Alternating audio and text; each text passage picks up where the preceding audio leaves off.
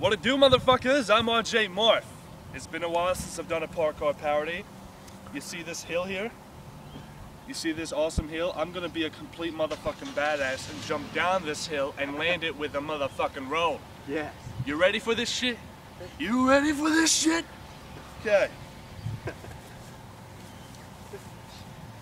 what you're about to see, do not try this at home. Only a true warrior can do this. True warrior.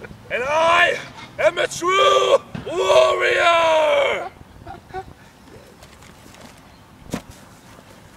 Whoa! I did it!